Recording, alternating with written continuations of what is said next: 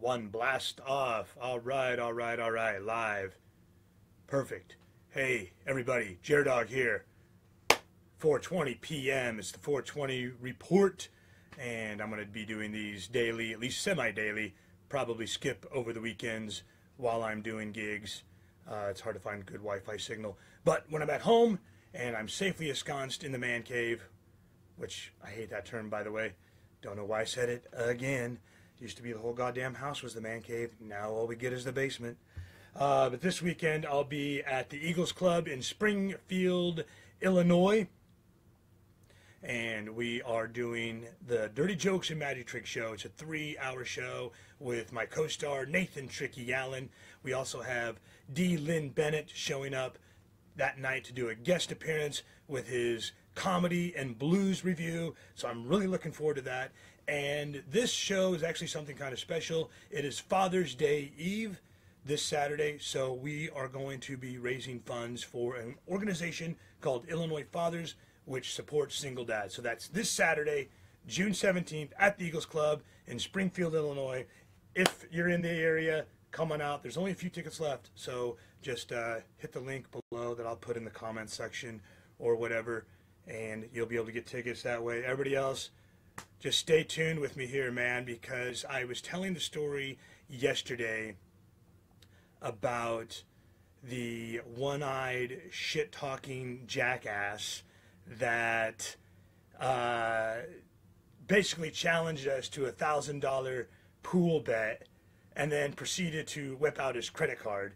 So I don't know. I thought that was pretty funny, but I forgot a part of the story um, what his girlfriend said to me when she was shit talking, which was kind of funny. That his girlfriend was his partner, and already I don't like doing bar bets when it comes to pool and darts anyway, or anything like that. It gets too fucking heated. People start shit talking. One thing leads to another, and it's just not fun anymore. I just like it to be fun, you know? I've even seen friends get into it over friendly game of darts where the only thing on the line is paying for the $50 fucking bar tab, you know? They start shit talking. At first, it's all funny and clever and witty and just for fun. But then somebody loses, somebody wins. The shit talking escalates. They bow up, get in each other's faces. Here comes the overhand right. The next thing you know, the other guy's going down, screaming shit like, I will end you. I will fucking end you. Don't ever put your hands on me again, asshole. I'll fucking end you. Eh,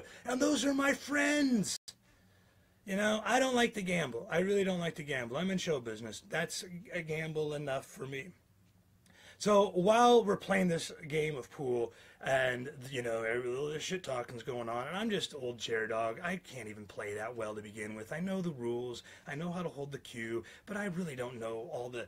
I, I sucked at geometry in high school. I, I suck at pool. You know, I can hold my own somewhat among amateurs but among shit talking guys that are putting down thousand dollar bets on a credit card, I'm gonna suck ass. The guy's like, I'm rolling around with a cue, you know, a house cue, and he's making fun of that. I'm like, dude, I don't even, I, I don't even. What do you I travel around my own cue stick? That's your bag, dude. That's your game. So he starts shit talking me. His girlfriend, uh, they, they, somehow finds out that I'm a comedian, and immediately resorts to the. Uh, well, you're not very funny. You're a comedian. You're not very funny. I'm like, really, dude? Really? Haven't you been watching me play pool this entire time? How dare you say I'm not funny? This is the damn, this is some of the best comedy you're going to get. But what I realize is that's one of the dumbest things that anybody can say to a comedian. Just immediately challenge, you're not funny. Okay, here's why. It doesn't even insult me. I really don't give a rat's ass less about it. It just makes the person saying it look stupid. I hear it a lot of times when a comedian will be in an argument with somebody, or like you know, like on Facebook, or even you know, well-known celebrity comics that may be chiming in on a say, a political segment on CNN or Fox News. And as soon as they make a really good point, the person that they're arguing against will say something along the lines of, You're not being very funny right now. They'll immediately challenge their sense of humor, their skill at their profession. And it's right there. It's like you might as well be waving the surrender flag argument lost. If that's the best thing you can say in an argument to a comedian is to challenge the thing that they do for a living, you lost the argument. So it's one of the dumbest things I think somebody can say to a comedian. Even if you know me well enough that you're just trying to bust my balls, then you should know me well enough to not bring that weak ass game to bust my balls. Bring something better. You know that if you're the first person to tell me I'm not funny, I haven't made it very far in this business. All right, every fucking show I do, I get people telling me I'm not funny. It doesn't fucking bother me. All I don't care about the people who don't think I'm funny. I only care about the people who sit there and laugh their asses off and applaud wildly and buy me drinks and book me for shows. Those are the only people I give a shit. I really I only care about the people that join me on a Facebook live and comment and have a good time with it. It's not about proving who's better at whose job. It's fucking ridiculous. It's one of the dumbest things you can say to a comedian. You're not funny. You're not funny. It's just low level thinking. It's mid level thinking. I wonder if MMA fighters go through that. Like, it, or, or what other professions maybe even like I was thinking about that like if you're an, a, a, like a locally known MMA fighter you know maybe you make your living at it maybe you're just a hobbyist maybe whatever level you're at do you roll into the bar and someone finds out that you do eh, mixed martial arts and like I'll I can kick your ass you're not that much of a badass. You want to meet me in the parking lot? Uh, and then here comes the overhand right. I'll end you, motherfucker. I'll fucking end you. Ah! You know? I wonder if I wonder if doctors get that. Like, hey, I'm a doctor. Oh, really? Cure, cure my disease right now. Prove it. It's ridiculous a lot of people put this up as a post earlier. What do you think is the dumbest thing someone can say to a comedian? I got a lot of funny comments. Uh, my friend Todd Stein even made a top 10 list of some of the dumbest things people can say to a comedian. Uh, can I tell you a joke? Yeah, you know, that's kind of dumb, but it's not as dumb as a lot of shit that I hear. Oh, sometimes people have good ones, you know, if they deliver it right. If they set it up with, can I tell you a joke? Right there, you're doomed. That's another reason why it's stupid for people to challenge you when they find out you're a comedian, to challenge you that you're funny. Are you really? Prove it. Tell me a joke. Make me laugh right now. As soon as you say it, no matter what the person says after that, it's not going to work. It's not going to be funny. It really isn't. It's very difficult because you've already said, tell me a joke. Comedy relies on surprise. What makes people laugh is a, like a truth followed by some sudden surprise that takes them off guard. That's how you. That's it's an involuntary response. So to say, "Tell me a joke," "Prove yourself," it's just shit talking. That's really all it is. But yeah, I mean, can I tell you a joke? That isn't nearly as bad as when someone challenges says tell me a joke but when they say can i tell you a joke they're already setting up like okay i'm, ex- I'm expecting a joke What's it going to be? How long is it going to take for him to get to the punchline? Uh, you know, I need a refill on my White Russian. How long is this going to be before I can get a refill on my White Russian? Now I'm not even listening to this guy's setup. Okay, finally we get to the punchline, and it's the dumbest, most racist, most sexist, most retarded, most expected thing you've ever heard. That's 90% of people out there saying, Can I tell you a joke? Sorry if you're one of them. Sorry, but prove me wrong. Uh, I could be a comedian, but yeah, I get that a lot. You know, some people think that they could. Well, everybody could be a comedian, really. If not everybody, but anybody, anybody could be if you just do the things it takes to do to be a comic. Write every day, hustle your ass off, get out there and get gigs, get in front of audiences, practice your shit, get good at what you do. You know, anybody could do that. Anybody could I mean, some of us probably are a little bit more naturally gifted than others because we don't start jokes off for our material with, Can I tell you a joke? Uh, here's what you should do. Yeah, I get a lot of advice about what I should do. You should, you know what, man? You should get an airplane. That's the one I hear. You should get your pilot's license. Then you could just fly to all, all these gigs. You wouldn't have to drive anymore. it would be nice not having a real job. When are you going to get a real job? That's another one that gets my goat. And I shouldn't let it bother me as much as it does, but it really gets under my skin where people will start deciding that one thing is a real job versus another thing. Why do we have all these prejudices about what people do for a living? Like one thing is better or more worthy than something else you know i don't i don't get it like it's it's it's just crazy i think that's one of the things that keeps people from actually realizing their dreams is it like well you know i would like to be a rock star but that's not going to be as responsible as going into banking You know, I don't know. Maybe ask the fucking people in 2008, 2009 what might have been a more responsible choice.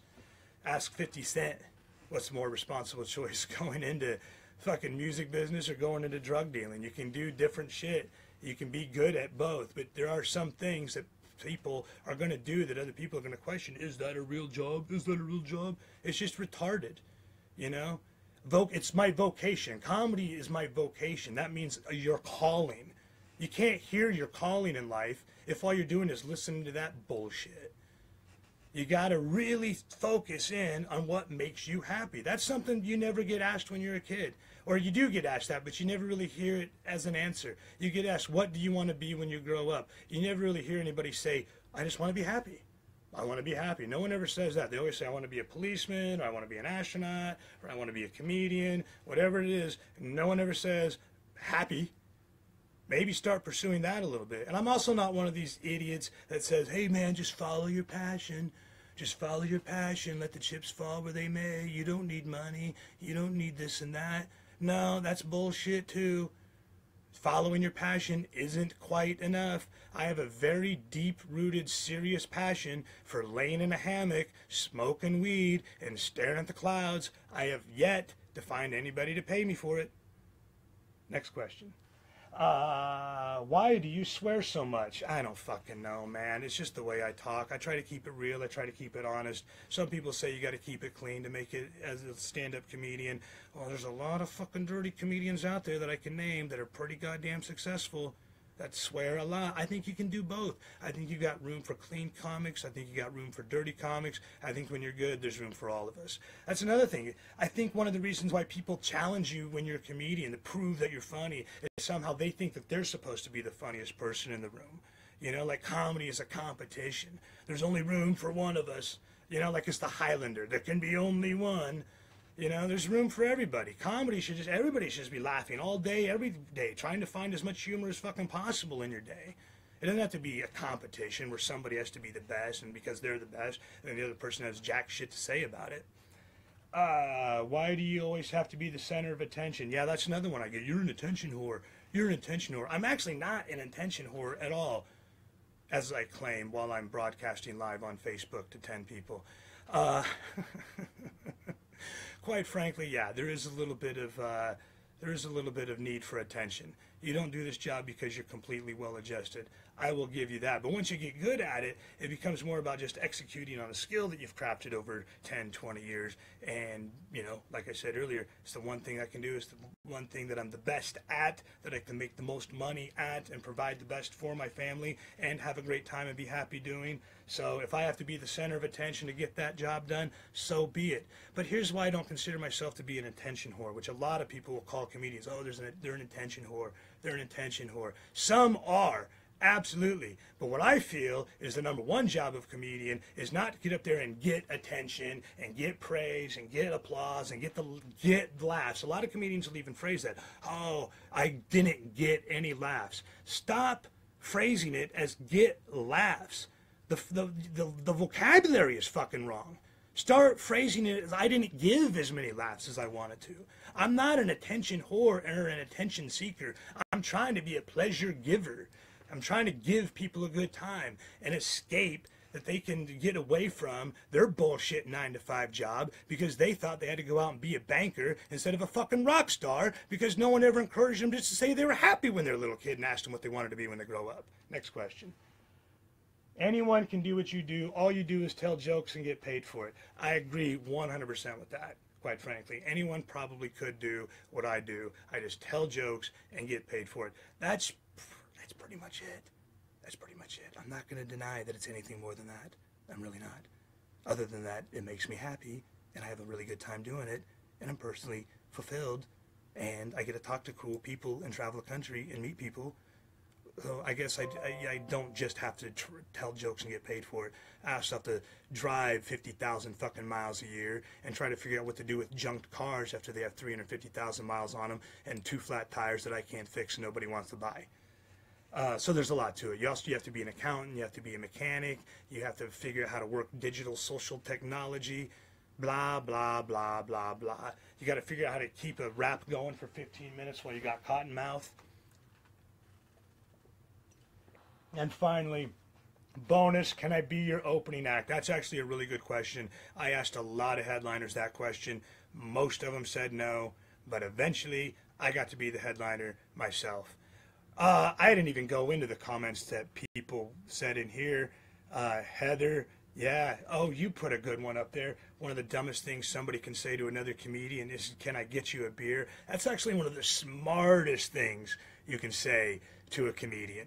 This coming from the. Uh, from Heather Lynn, who is the manager at the Shamrock Pub in Jackson, Michigan. Another one of my favorite places to perform. Where the last time I was there, right in the middle of my 90-minute set, they just started. They decided to start serving delivery pizza, just right there in the middle of the act. Just hey, would you like garlic sauce with that? Would you, you want? Would you like garlic salt? Fuck the garlic salt. Just serve the goddamn pizza so I can get on with my show. It's just a can of MSG anyway. But that's a different story from another time. Thank you guys. Uh, no, I loved it. You guys were great. Thank you all for watching. Whoever watched, if you like this, give me some likes, give me some loves, hit the share button. Um, I'll check back with you tomorrow at 420 or as close as possible. Thanks, everyone. Bye.